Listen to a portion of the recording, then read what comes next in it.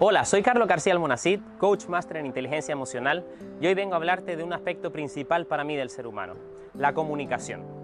En primer lugar, te voy a decir que solamente existen dos tipos de comunicaciones, la interpersonal y la intrapersonal. La intrapersonal es la comunicación que nosotros mantenemos con nosotros mismos, es algo que conocemos como el diálogo interno. Habría que observar de qué manera te estás hablando, habría que observar cuáles son los mensajes que te estás mandando y si esos mensajes están siendo importantes y potentes para la consecución de tus objetivos, de tus metas o de tus sueños. En segundo lugar tenemos la comunicación interpersonal, que es la que establecemos nosotros con el resto del mundo.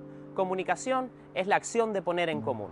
¿Qué es lo que estamos poniendo en común con el resto de las personas y de qué manera lo estamos haciendo? Es nuestra responsabilidad. Hay muchas herramientas que podemos tener para hacer que nuestro mensaje llegue de la forma en la que nosotros lo expresamos a la persona que lo recibe. El segundo de los tips que te voy a entregar hoy es la manera en la que mejoramos nuestra comunicación. Los seres humanos aprendemos y aprendemos constantemente para alcanzar mejores versiones de nosotros mismos. Cuando ponemos en común la información que tenemos dentro, debemos darnos cuenta de que solamente probablemente tengamos una oportunidad de hacerlo.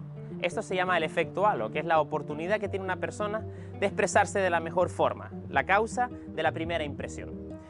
En comunicación podríamos dividir tres quesitos principales. Comunicación verbal, lo que tiene que ver con la parte de las palabras, comunicación no verbal y comunicación paraverbal. Las palabras ocupan prácticamente un 7%, mientras que lo no verbal ocupa un 55%.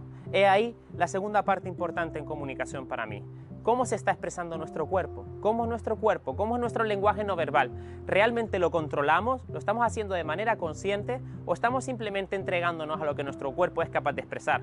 Mucho cuidado, porque quizá ustedes crean que están expresando algo con sus palabras, pero su cuerpo esté transmitiendo otra cosa.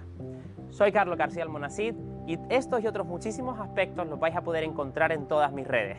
Ser feliz es fácil en Instagram o en Facebook o Carlos G. Almonacid en YouTube, en Facebook y en otras redes. Muchísimas gracias y un fuerte abrazo.